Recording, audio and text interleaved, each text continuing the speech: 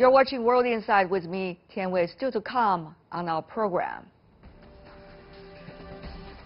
A Russian developed the COVID-19 vaccine out of the pipeline. How effective can it be? Is it going to be the breakthrough needed to turn the tide against the pandemic? Some answers from someone directly involved in the work right after the break.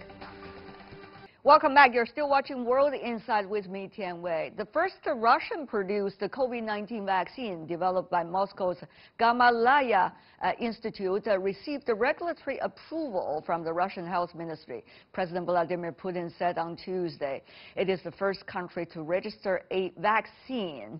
The Russian president said the vaccine had gone through all the necessary checks and one of his daughters did take it. The speed highlights Russia's determination for an effective product, but has stirred concern from some that it may be putting national prestige before science and safety. Earlier, I talked to Kirill Dmitriev, the CEO of Russian Direct Investment Fund that bankrolled the effort on vaccine efforts and the importance of international cooperation. Here's our exclusive interview. We are joined by Kirill Dmitriev, the CEO of Russia Direct Investment Fund. Kirill, good to see you again.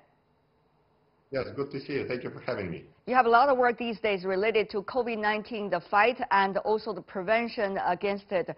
Tell me more about different fronts, uh, testing, drugs, and vaccines. Some brief information. Yeah, so basically we focused on three elements of fight against coronavirus. It's very good testing, and our test systems already were sold to 13 million tests outside of Russia. And for example, they're used in all of the Moscow airports because they give very precise results in 30 minutes, which allows to increase existing testing uh, throughput. Also on drugs, we supported a drug called Avifavir uh, that already is used very widely as antiviral against COVID in Russia and has also been bought by 15 other nations.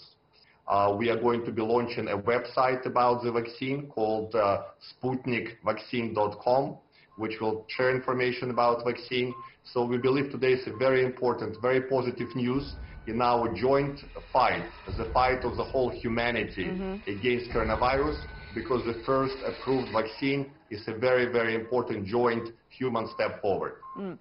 The vaccines, uh, many of them the most important candidates, according to WHO, have been entering into the third stage trial, about the newest one coming from Russia? Well, we already uh, finished very successfully two uh, phases, and following Russian regulation, all of the procedures were met for approval. What's very important is that our approach using adenovirus vector to deliver the spike of coronavirus have been validated by other people. So for example, CanSino is uses adenovirus number 5, uh, Johnson & Johnson is using adenovirus number 26, and Russia actually is using both adenovirus number 5 and adenovirus number 26. Mm -hmm. And we believe it's the joint use of those delivery mechanisms that will lead to very good, effective results and long-term immunity. What's also very important is that this approach has been studied by our Gamaleya Institute for the last six years. Yeah. So thousands of people have received uh, this approach before, and the Russia vaccine really focused on safety and efficiency. Mm. But uh, as you may know, Kirill, there are a lot of issues regarding uh, vaccine, complicated process, particularly once an immunity is being developed, how long it will last. That will have a lot of uh, impact on whether a vaccine is successful. So what about the antibodies, the length of antibodies, and also the function of antibodies developed as a result of the vaccine so far? Oh, you're absolutely right. And that is the biggest concern, that the immunity will not last for too long. So our vaccine demonstrated both the antibody response and what's called T-cell response. We believe that for longer immunity, two shots are needed because antibodies could start being reduced very quickly with just one shot. So we believe it's important to have two shots, and it's very important to use two different vectors to deliver the shot. Because if you use the same vector second time, it's just much less effective second time. So we believe, based on the studies our Gamaleya Institute has done, that Russian vaccine will last for more than one year, hopefully two years. But of course, we are doing lots of detailed research on the long-lasting effects of, of the immunity of the vaccine, and that's a key issue, as you said. It reminds me of uh, some of the research being done around the world about a quote-unquote cocktail of antibodies to address uh, uh, the uh, immunity period problem. Uh, having said that, though, uh, what about the testing of the vaccine? When you go to the third stage trial, of course, you have a lot of uh, uh positive cases inside Russia that you can uh, work on with. Uh, however, how would you make sure that this vaccine could address problems that are existing in different parts of the world? As you may know, some of the virus are coming from different origins. Yes, exactly. So we are big partners with China. We are big partners with other nations to jointly work on the vaccine, to jointly produce the vaccine. We expect that five other nations will be producing Russian vaccine. We will have clinical trials in many nations. What are these countries? So we will have clinical trials in United Arab Emirates, uh, Saudi Arabia, uh, Philippines, uh, maybe Brazil. So it will be widely tested um, around the world. And we believe it's this partnership approach that's very much needed. We really benefited from working very close with China on a number of issues. And we believe that countries need to be together, not divided in this fight. Because of course we want to protect Russian citizens, just as China is protecting Chinese citizens.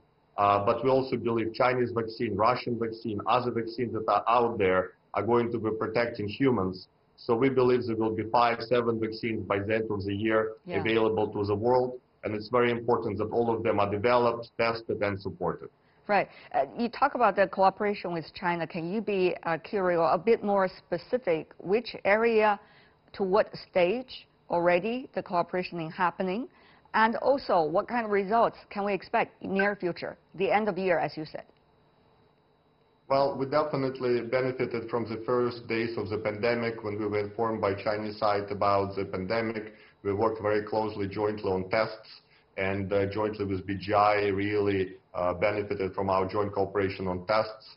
We received lots of clinical trial research on the Avifavir drug that we later launched in Russia. And on vaccine also there has been lots of exchanges with Chinese scientists and lots of cooperation. So I think we see China cooperation in many aspects of uh, health industry. We believe the China vaccines that are being developed are very good uh, and will have very good results. And I think it's a good example for how countries can work together, support each other, mm. rather than trying to attack each other in this very important uh, fight against COVID. And I wanted to use this analogy that animals, uh, you know, when they go to drink to a water hole, they do not fight and live in peace. I actually looked it up, and it turns out that animals do attack each other on water holes. Mm. But hopefully we could be better than animals. We believe that there should be a truce on politics around uh, coronavirus, a truce on politics around vaccine development, and we should all work on those vaccines, all of the nations, to really save our people. Do you see the role of WHO in this regard and international cooperation various platforms? Well, definitely, and information about Russian vaccine has been provided to WHO, and we are sharing information about our vaccine on our site, which is sputnikvaccine.com. I'm publishing an op-ed today about the vaccine that was not published in most of the Western media publications. So we want to publish information about Russian vaccine and have people learn and know. So I think it's very important to cooperate with all of the bodies that are out there. I think those bodies need to be respectful of scientific research, of accomplishments of different scientists. We have great academician uh, Gintsburg uh, and his uh, uh also deputy, Mr. Logunov, who developed these vaccines. They're great scientists. And I think it's important that we support our great scientists in different countries. Mm uh, contrast probably to a lot of countries, we have noticed that the United States have been playing geopolitical card even in the middle of the pandemic. Uh, for example, the Secretary of Health's visit to Taiwan, which is supposed to be a very sensitive issue between China and the United States. Now, I don't want to concentrate on geopolitics in this conversation with you because I know you are investing in a lot of scientific research projects. So tell me about how important it is now to play with the fire of politics and geopolitics when we have lives on the line. Well, I think it's very important that it's very clear that people of all of the nations in the world want to have a vaccine, want to be safe, uh, and want to have protection. And I think it's very important to separate people uh, from some of the politicians who really are focused on divisions and focused on attacking. Uh, but once again, we will publish our research in all of the scientific uh, key publications in, in August.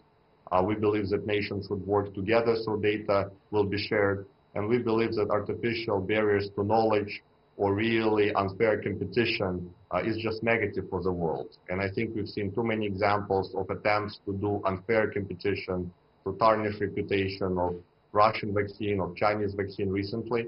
And those are very negative steps. I think they are not moving us forward in the fight against COVID. Mm. What do you make of uh, trying to suggest that there is kind of uh, a supply to one country or certain groups of one country first before it should be available to the other countries, whether they are the ones that invented the vaccine or they are the ones uh, uh, that have been supporting to invent the vaccine. Uh, what do you make of these kind of arguments? Well, we believe that vaccines should be shared very uh, widely. I think it's very important, and as you know, we will be uh, producing in five nations. Uh, those nations will be producing for themselves and for other nations. We received inquiry from 20 nations.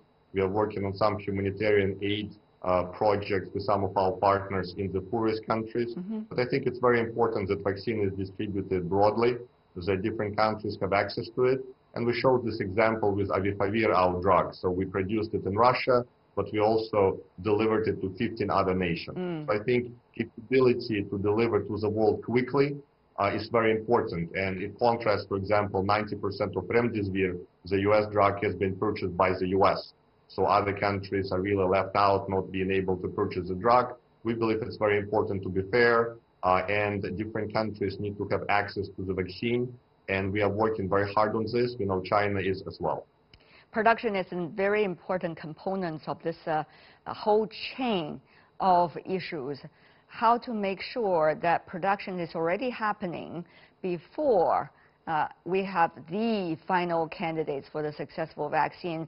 It's a mind-boggling issue, and who to work with for the production, and how production can be transported efficiently to different parts of the world without, you know, limits of geopolitics and others. These are mind-boggling questions, much going beyond the scientific research. Uh, Kirill. Yeah, well, we are focused on a very practical approach. So first of all, we will be producing in Russia two of our portfolio companies called R-Pharm and Alium. And secondly, we are building those partnerships with different countries in the world to produce. Uh, we already reached agreement with a number of those nations. We would be open to also produce in China. Uh, and I think those production capabilities are important. So we already are producing Russian vaccine.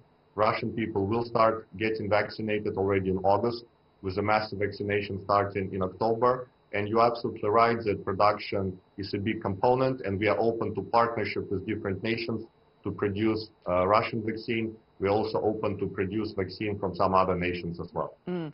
It is not just about testing the drugs and the vaccines. It's also about prevention and control at a time when there are a lot of uncertainties. So, Kirill, Russia had been under test about its capability for prevention control this time since COVID-19 broke out. Where is it to go next? Well, I think you are uh, right that social distancing and wearing masks are very important. And actually, Russia was acting very toughly on this, also using some of the methodologies that China developed. So we're actually able to prevent the major outbreak, and Moscow mayor has been very tough on COVID with very strong social restriction measures. And I think we are moving to the world where it doesn't make sense to put people on social uh, quarantine at home but it does make sense to keep distance, it does make sense to wear masks, and it does make sense to be careful, particularly indoors. So I think it's a combination of tests, drugs, vaccine, and social distancing measures, mm. but without quarantine so that economic activity can resume. Mm. Kirill Dmitriev, the CEO of Russia Direct Investment Fund, what a pleasure. All the best to the vaccines you, you so are working on. Thank you very much. Thank you. And that's all the time we have for today. If you'd like to see more, you can certainly search our program, World Insight, or check out our YouTube channel, follow us on Twitter and Facebook. I'm Tian Wei. On behalf of the team, thanks for watching. Bye for now.